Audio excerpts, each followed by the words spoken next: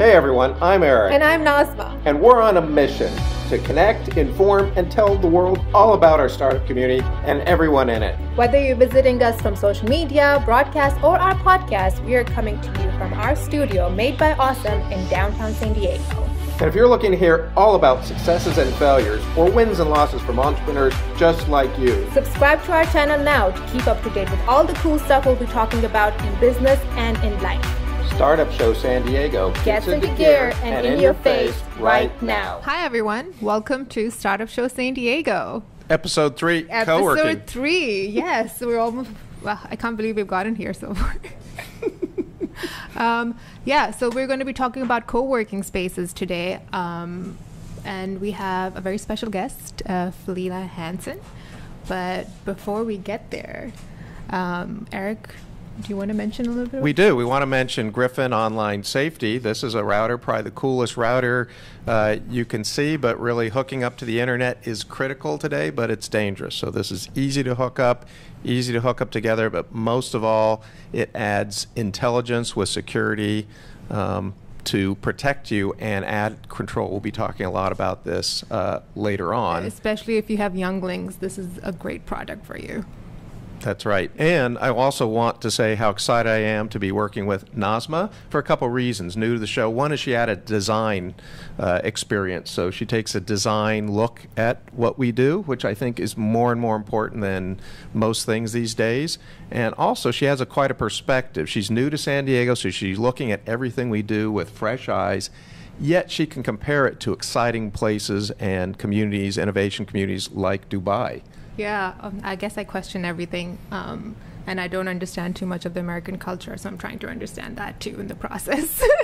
so she asked the questions, and and and uh, I mentioned this in I think episode one is she doesn't think she's front of the camera person. Her, her goal was to sit behind the camera, and we put her down here with some very opinion people, and she held her own and put them in their place. And I said, no, no, you're in in front of the camera now. person more nice. than me. I mean, I also like when I met you uh, at your workshop. Actually, that's something you guys should check out. Um, uh, Formula Six. Big story formula. Big story formula, formula Six. That's true. Uh, that's where I met Eric, and it was pretty enlightening. Um, free. So yeah, definitely check yeah. it out, and it's for free right Go, now. Look, just look at Meetup, Big BigStoryFormula.com uh, dot com or Big Story Formula. It's part of the um, uh, Business Network Connection uh, meetup, and it's uh, it's great. Will transform the way you think about your business, yeah. turning stories into leads. Especially if you're a startup, it really helps. Um, so yeah, look look that up. Steve Bickle told me it's the best free meetup in San Diego. There you go. Nice. Yeah. All right, so let's get back to our show on co-working spaces. And with us today is Felena Hanson. She is the founder of Hera Hub um, which is all very exciting. It's an accelerator and a co working space for women specifically. Um, hi, how hello, are you? Hello, happy to be here. yeah, and I'd like to say that uh, Felena is a role model for anybody with a startup, anybody doing co working. She's passionate, she's involved. And uh, she's always moving not just herself, but everything uh, forward. You can read her book, uh, Flight Club which talks a little bit about rebelling. So we'll find out today whether she really is a rebel. Indeed, of course. I'm an entrepreneur. I have to be a rebel. Oh, yes. I guess the first question is how did co-working start in San Diego? What I guess I'm more important. Why did it start? Yeah. in San Diego? Yeah, it's a great question. I don't know that I have an answer to that, but I think co working and this phenomenon has really come out of the growth of the independent workforce, as we like to say. So, freelancers, contractors, entrepreneurs uh, kind of get lumped into that category. And right now, the estimate is that's about 33% of what we say the knowledge based workforce, folks that use their brain for work. Uh, and a lot of folks are predicting that's going to be 50% uh, around 2020. So significant growth, continued growth in this uh, segment, if you will, of people working for themselves. So that's really where co working grew from. Uh, most folks would attribute the, the birth of co working to the Bay Area and a gentleman by the name of Adam Newman uh, about 11 or so years ago, who got a bunch of buddies together in his basement and they were coding together and thus birthed co working. But a lot of folks would argue that this shared workspace environment has been around forever, right? I mean, everybody knows who Regus is. Mm-hmm. Um, but what I like to say is, Regus is selling privacy, co working spaces are selling community. There's a big difference of walking down a hallway and closing a door and working in isolation versus co working spaces. True co working spaces are mostly open environments. So, to answer your question, um, I came into the world of co working in 2010. I was hosting an event, a fashion event actually, an eco fashion event. At the time, I was teaching part time for the Fashion Institute of Design and Merchandising downtown San Diego here. And I threw an event for some of my students who were graduating to allow them to network and grow and connect with the community in San Diego. And we threw that event at the Hive, which uh, most would say, argu- arguably, that's our first co working space in San Diego that was on 11th Avenue. Uh, unfortunately, they are no longer a co working space. It's now Digital Telepathy has taken over that space. Uh, but Jason Harper and Graham Downs founded that space um, right around that same time. They had just opened at the beginning of 2010 when I threw that event there. And why did they want to create that space? What drove them to to want to work together? Yeah, what so were they doing? So Graham uh, was an architect, and Jason was a cultivator of community. And Graham had a, a, great space there on 11th Avenue, and Jason, being in the creative marketing industry, wanted to get folks together mm-hmm. and uh, you know collaborate really. And so, yeah, yeah. Oh, I guess I want to know more about Hera Hub now. Like, how did that? yeah, I, am getting there. I'm getting there. I promise. I promise. So, um, so it was really that was the impetus. I threw this event. It, I had a marketing firm at the time. Uh, did marketing strategy work for service-based companies, relationship-driven companies, for about seven years. At that point, I'd had that business, and so I thought this is really different. I had a lot of clients that were using old school executive suites. Um, but that wasn't a fit for me, and I didn't need full time mm-hmm. space. You know, I did want to work from home some days, right? Like, there's nothing better than working in your yoga pants some days. I mean, it's just it's the way it is. but there are some days you want to get out and connect and collaborate. And so I actually looked at the hive for myself in my business. I went back after the event and it was really cool space, you know, concrete floors and beer keg and ping pong tables and yeah, it was super hip and super cool. At the time, I was in my late 30s and I'm mm-hmm. like I'm not this cool. I am not gonna. This is not the place that I'm gonna, you know, exactly fit in, so to speak. Um, but it did spark an idea. I was running a lot of professional women's organizations at the time, doing a ton of events, and it just sparked an idea to do a space that was female focused. Mm-hmm. So I do want to make that important distinction. Hera Hub, Hera or Hera, being the Greek goddess of women, um, is female focused, but absolutely not exclusive to women. And we do get lumped in that category a lot of women only co working spaces. And just this last week, there's been a lot of media around that. And you know that discrimination is uh, is bad, and it is. I mean, we don't discriminate. We do have male members. Eric hangs out there all the time. Yesterday, yesterday, yesterday, he was hanging out there. yeah. So really, it's creating a space that is beautiful, safe, collaborative, supportive. Uh, the environment's quite different. We call it spa-inspired workspace. Wow. You know, immediately when you walk in, it's it's zen, it's tranquil, it's beautiful, it smells good, um, and it's productive and collaborative. And if men enjoy that environment, they are more than welcome to join us as well. Do you see more men joining? Um Hera Hub uh, recently? It's no, not necessarily. From no. the beginning, we've always had a small percentage of members who are men, yeah. and and some men enjoy that environment, yeah. and it's it's not for everybody. Right. Just like other co-working spaces, I mean, everybody has their niche, and I know we're going to get into that. Is you know, there's so much room in the market. There mm-hmm. are so many people working for themselves. This co-working uh, model, so to speak, is just taking off. And I'd like to say that even though there are women there, women tend tend to interact with men. So even if they're not members, and there are male members, Yeah. there are a lot of men that come in just to have meetings Absolutely. and things. Uh, you were doing a leadership seminar yesterday that had men and women uh, that are uh, drawn to the space to Yeah. have a meeting. Yeah. I when I decided I was going to do this, Jason Harper and I started looking for space in kind of central or south end of North County, Solana Beach area, because he wanted to do a second space for the Hive. And so we looked at a space on Cedros. Um, actually, uh, what ended up happening is a co-working space called Cedros Works went into the space that I was looking at. Uh, the owner of the uh, the building said, "Hey, this is a good idea. I think I'm going to do it on my own after." A little bit of competition is always Yeah, good. exactly, exactly. So uh, there was a second space we looked at, but long story short, about a 10 month process, uh, we ended up in Sorrento Valley for our first location. Um, and I did pre launch uh, the business for four months in a dance studio, basically, because it took me so long to get our first space. And uh, it was a great way to just kind of test the model, if you will, and get people excited about it.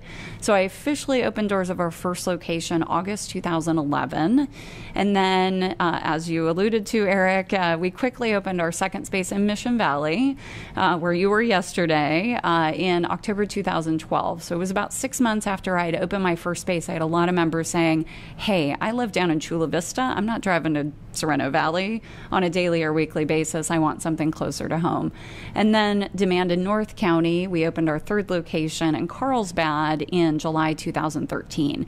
So in the span of two years, I opened three locations, which was uh, great and challenging all at the same time.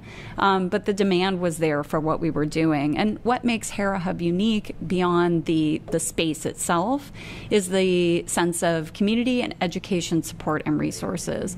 So on a daily basis, there are activities, workshops, mentoring happening at Hera Hub. Um, and then we also have two separate nonprofit entities um, that were founded by Dr. Sylvia Ma, who uh, is an amazing woman here in town and has done so much for the startup community. So, Hera Labs is a formal business accelerator program for both launch stage and growth stage, the, the kind of traditional 12 week program where you go through.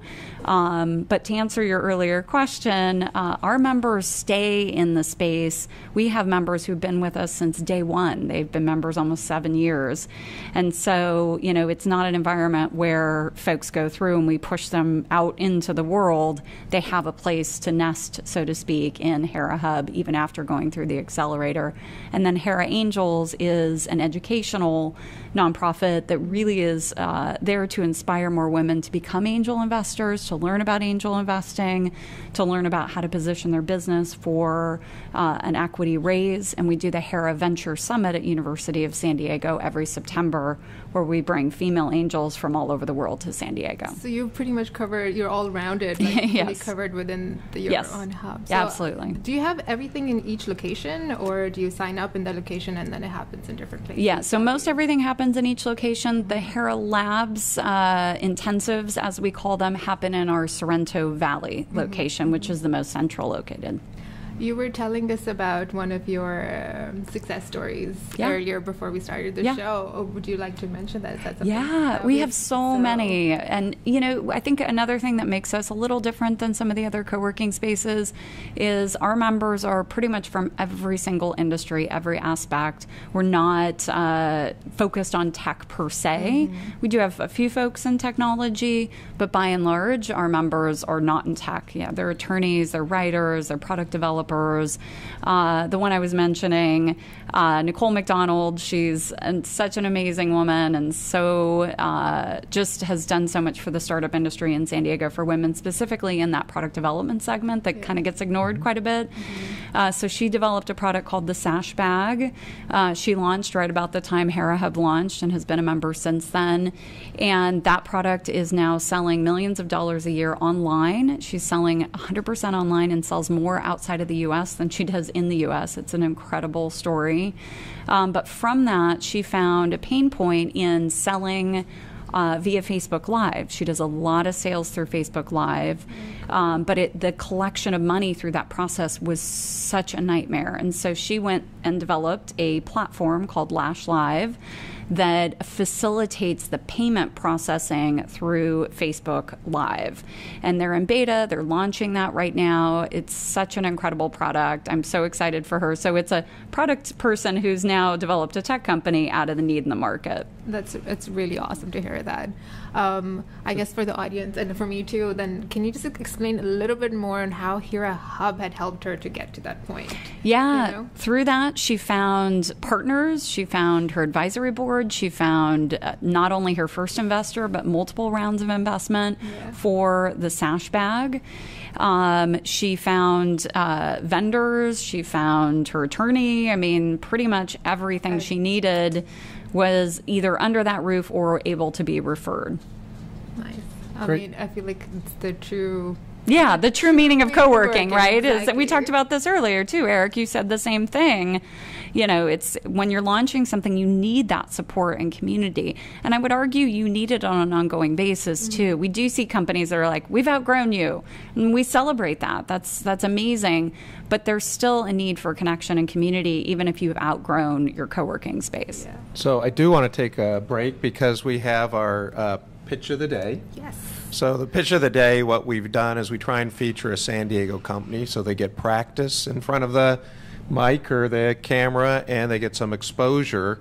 Um, and yeah. and uh, today's pitch of the day is Gryphon. This is for everybody. I've mentioned this before as well, but for every episode, we're going to be showcasing one company um, every week. So yeah, look out for pitch of the days. They're awesome. So check out uh, Gryphon, and we'll be right back.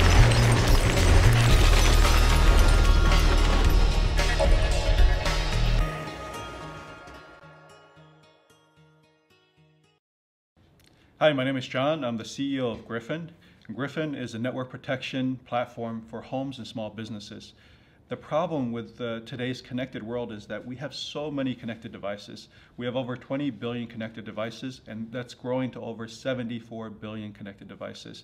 The reason I started this company is because a couple years ago, my daughter was actually online uh, doing searches, and um, a bunch of inappropriate material came up. And as a dad, um, that was a moment where I felt like I needed to do something. And uh, that's part of the reason why I started Gryphon.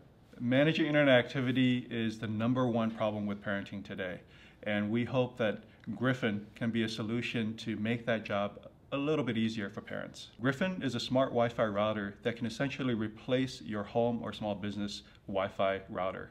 And not only bringing you internet connection, but also protects all the different devices that are connected to your Gryphon Wi-Fi router. The way that Gryphon protects your network is by blocking on the network level inappropriate content that might be coming into your home, as well as malware that might be reaching your devices. You can find Gryphon on our website or on Amazon. And don't worry, Gryphon is priced comparably to all the other routers that you see that supports wireless mesh and the latest Wi-Fi technology to give you the fastest throughput in your home as well as the coverage that you need. Gryphon is smart. We use the latest in artificial intelligence to detect threats now and also in the future. You can find us online at gryphonconnect.com. That's G R Y P H O N connect.com. Or look us up on Facebook at Gryphon Social, G R Y P H O N.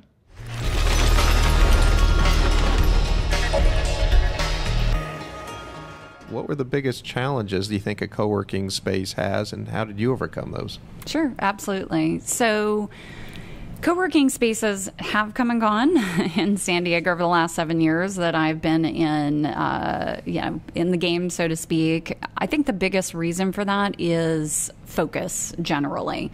A lot of folks will start a co-working space because they maybe have a core business and they want to have access to talent or a network around their business. So we see this start a lot in the creative uh, segment, folks that maybe are graphic designers or web developers, and they say, hey, I need space for my office. Let me get some extra space, and we'll put up some desks and we'll invite, you know, writers and videographers and other folks that are ancillary to the business into the space. So they're not really focused on the co working space as being their core business.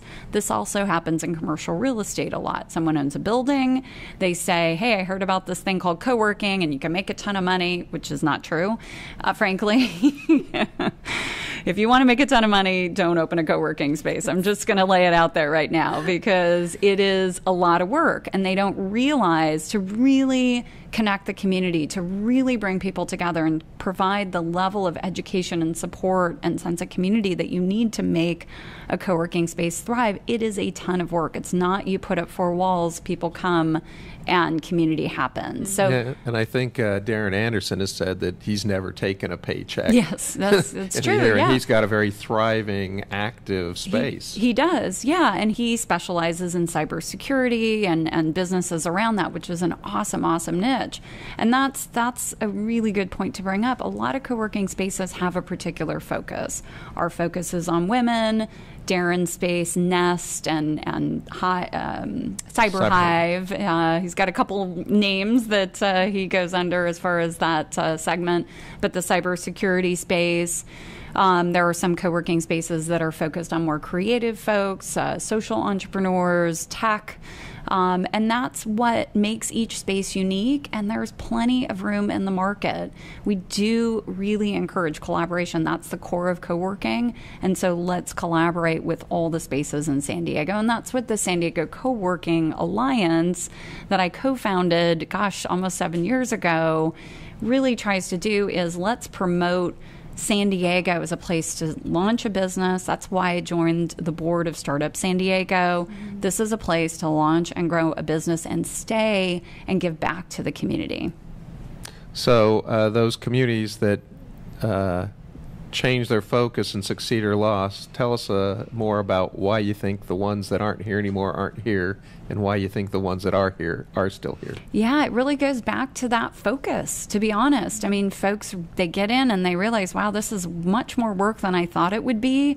And I'm just going to go back and focus on my core business because that's what really makes the money, honestly. And so, folks, I mean, going back to the, the space up on Cedros Works, you know, the, the owner of the building said, well, I'm going to do this myself. And then he, you know, realized after a couple years, like, this is a lot of work.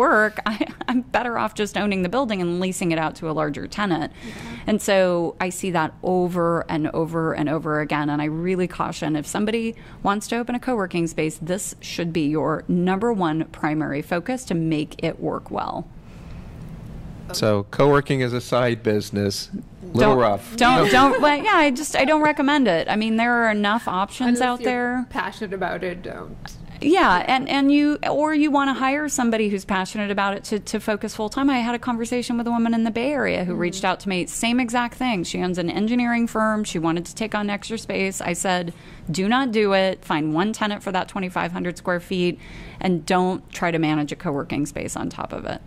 Yeah. So, how about the creator spaces you basically talked about, where you have a bunch of, for, for example, the space we're in in this. Uh, we have all kinds of social media and performance marketing going on. That that's a plus for us. Yeah, and so that's a good point, Eric. I mean, you could call this a co-working space if you wanted to, and I, I think therein lies the opportunity and the challenge. Is almost anything I mean, you could call Starbucks a co working space, right? I mean, where people are working around each other could be a co working space. But I think that's the challenge is everybody's using that word these days and a true co-working space where there's programming and support and resources and that is the focus is getting a little diluted by everybody on the planet saying they have a co-working space. Yeah, this is not open to everybody. Yeah. People are yeah. here for specific reasons sure. because we have a very targeted focus. Yeah. Yep. Yeah, um, I mean, so bring, I, mean, I really like that term, true co-working space, because yes, the term has diluted a lot.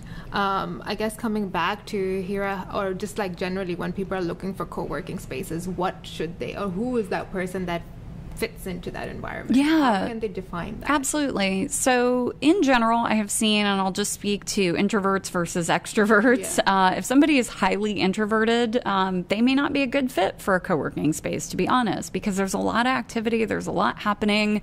And if you don't work well in that activity and you don't, you know, gain energy from the energy of others, if that drains you, then frankly, you, you may not be a good candidate for a co working space looking for the types of businesses that you want to connect with. That sense of community is critically important. What's the programming look like?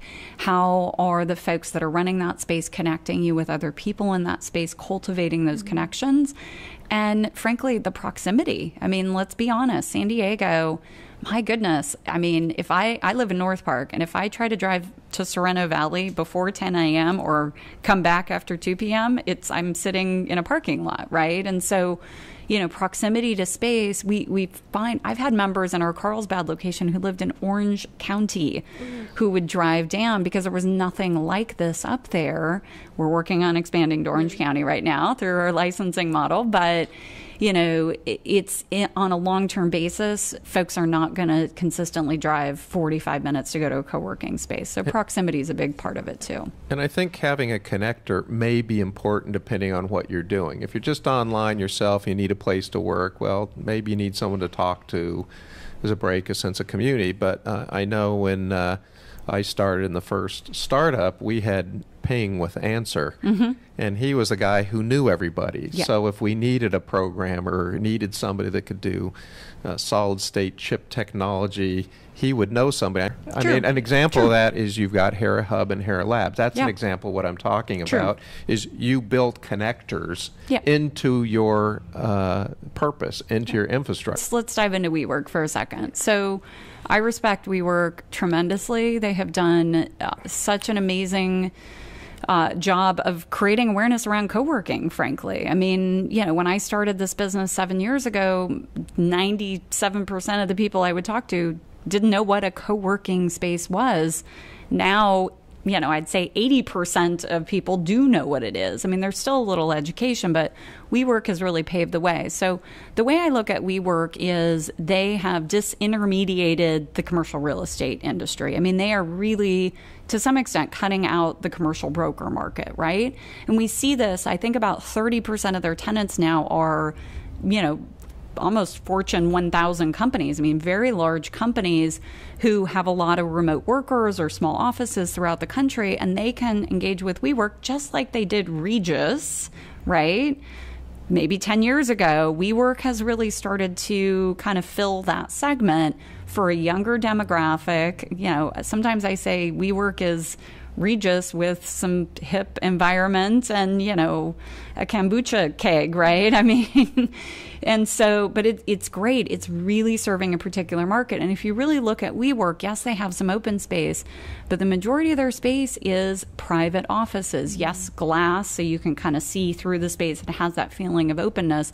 But we have lost, I would say, since we worked open in San Diego about a year and a half ago, we've lost maybe three members in that year and a half period. And those were folks that needed private office space. We have very little private office space at Hera Hub. It's mostly open, mostly flex. And so if folks need private offices, that's a great, great option for them. So I respect WeWork. I welcome WeWork. My only beef with WeWork is when they take some predatory uh, angles in their marketing. So they have done that here in San Diego and a number of other cities where they'll set up. In fact, they set up in front of Downtown Works, and I, they must have gotten a movie permit for the day or something, and they set up a whole living room with Wi-Fi and free food, and you know that's that's not very nice, not very cool of them to do that, to be very predatory in their marketing. Um, but beyond that, I, I mean, they've done a lot for the industry, and I really respect that. And I think there's a lot uh, that has to do with the scale of a business or the phase of a business. Because yeah. at first you're trying to get direction and inspiration, and you kind of need that community to keep you going. And a lot of times, independent places like Hera Hub are really good, Downtown Works are really good at connecting that. Then, when you have something that starts to work, now it ends up being a lot of testing, and you can get a lot of embedded support to get the presence to say, let me talk about my router, let me yeah. talk about that kind of stuff. And then when it comes to scale, sometimes multiple locations is a huge it advantage yeah. where you can go to New York and somebody uh, in the in a community like WeWork can help you out and say you need to talk to this person Absolutely. in New York. So yep. I I think scale like Regus, You know, a lot of people. Um, you know, I used to uh, go into Regus office in cities way off because uh, you need that connection. But um, the connection at places that we work are way better in terms of no, community absolutely. than like Regus. Yeah, because they really have taken the co-working angle. And one thing to to distinguish um, is you you said the phrase when it really starts to work. I think what is important to distinguish is the different types of businesses. So by and large, the types of businesses that are members of Hera Hub are not the next Airbnb. They are solopreneurs. They are solo practice attorneys, folks in bookkeeping or finance, marketing professionals, you know, writers, authors uh, nonprofits, those folks are not trying to scale to 100 employees or 100 million in revenue. They're you know they've created great local businesses that are supporting the community and that's what they want to do which is fine that doesn't mean they're not important businesses but that's why most of our members haven't outgrown us and we we welcome that they they like the community they like the space they like having a small business and and that's really where our niche is yeah. so if you were to say the thing that you're most excited about in the next year to three years in co-working what are you personally most excited about? Yeah i think just talking about some of the trends in co-working we continue to see what would be referred to as niche markets in co-working. Um, you know co-working and rock climbing co-working and yoga co-working and you know all kinds of different things. Um, the maker spaces continue to to segment out into different types of maker spaces. mm-hmm so I think that's a natural course of an industry, right? It, it grows, and then you start to see a little more fragmentation in, in niche markets.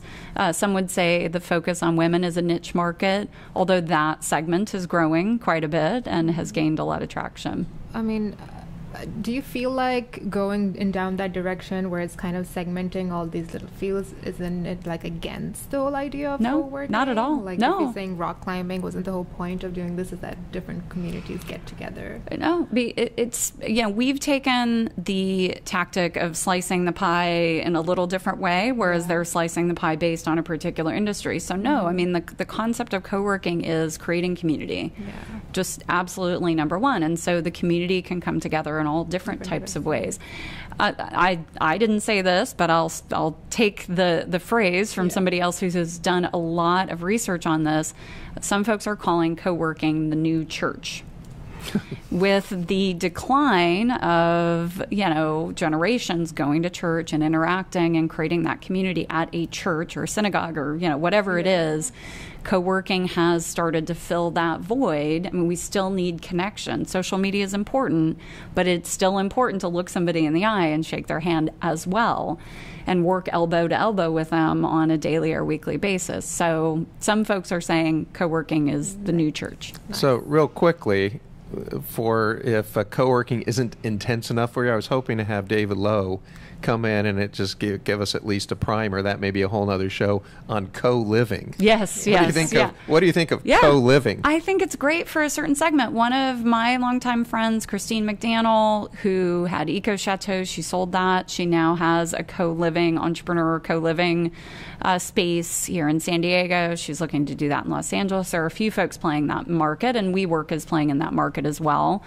Um, I think it's fantastic for the right segment. The market I serve is not, they're not going to leave their house in Carmel Valley to go, and you know, be in a bachelor pad with a bunch of 22 year old entrepreneurs. I mean, my members have children and families and, you know, all kinds of things going on, you know.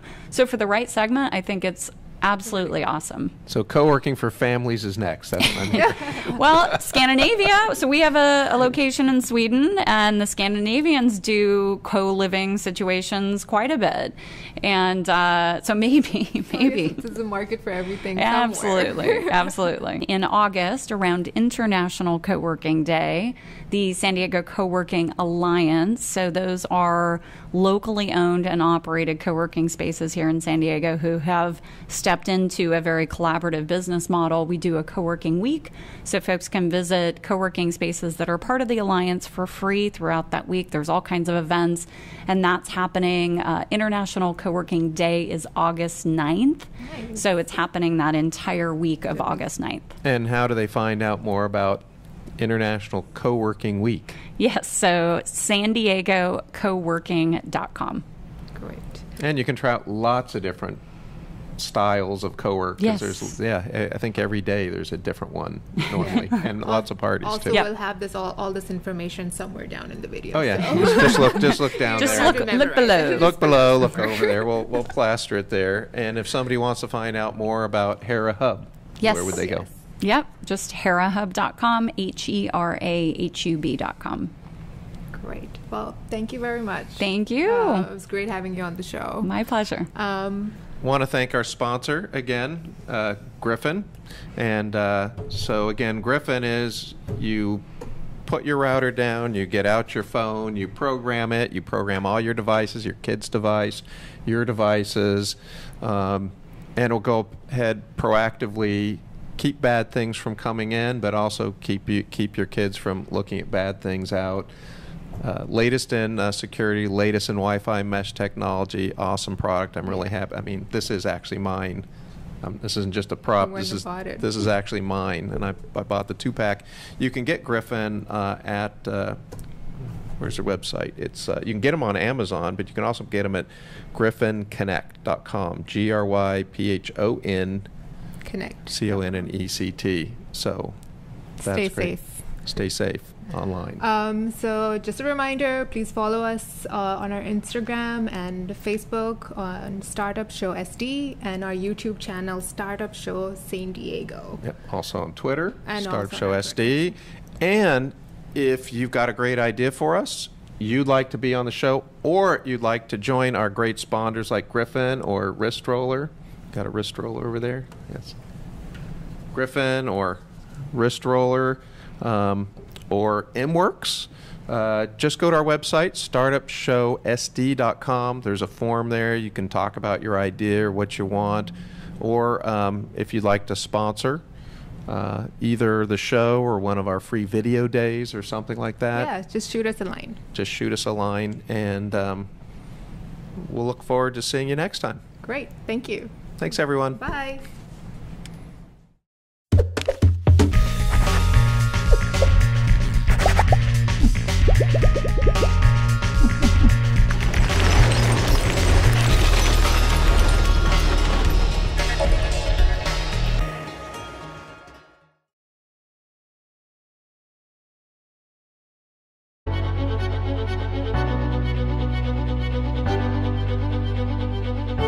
Hey, everyone. I'm Eric. And I'm Nazma. and we're on a mission to connect, inform, and tell the world all about our startup community and everyone in it. Whether you're visiting us from social media, broadcast, or our podcast, we are coming to you from our studio made by Awesome in downtown San Diego.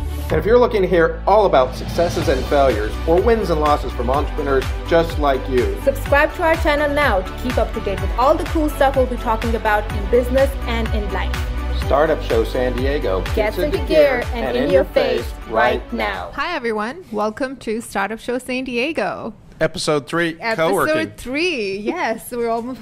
Well, I can't believe we've gotten here so far. um, yeah, so we're going to be talking about co-working spaces today, um, and we have a very special guest, uh, Felena Hanson.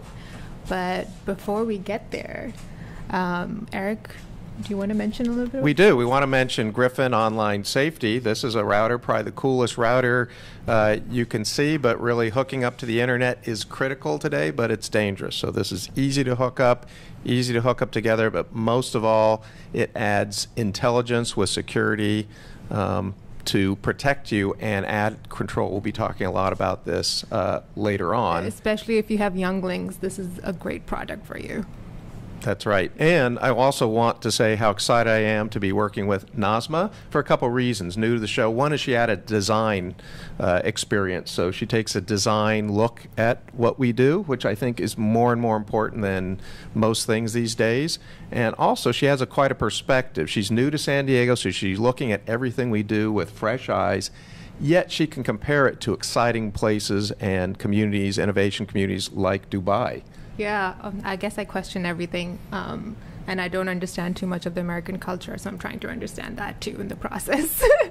so she asks the questions, and and and uh, I mentioned this in I think episode one is she doesn't think she's front of the camera person. Her, her goal was to sit behind the camera, and we put her down here with some very opinion people, and she held her own and put them in their place. And I said, no, no, you're in in front of the camera. No, person it was more nice. than me. I mean, I also like when I met you uh, at your workshop. Actually, that's something you guys should check out. Um, uh, Formula Six. Big story formula. Big story formula, Formula Six. That's true. Uh, that's where I met Eric, and it was pretty enlightening. Um, so Free. yeah, definitely check it out, and it's for free right Go, now. look, just look at Meetup, Big bigstoryformula.com, uh, dot com, or Big Story Formula. It's part of the um, uh, Business Network Connection uh, Meetup, and it's uh, it's great. Will transform the way you think about your business, Yeah. turning stories into leads. Especially if you're a startup, it really helps. Um, so yeah, look look that up. Steve Bickle told me it's the best free meetup in San Diego. There you go. Nice. All right, so let's get back to our show on co-working spaces. And with us today is Felena Hanson. She is the founder of Hera Hub, um, which is all very exciting. It's an accelerator and a co-working space for women specifically. Um, hi, how are you? Hello, hello. Happy to be here. Yeah, and I'd like to say that uh, Felena is a role model for anybody with a startup, anybody doing co working. She's passionate, she's involved, and uh, she's always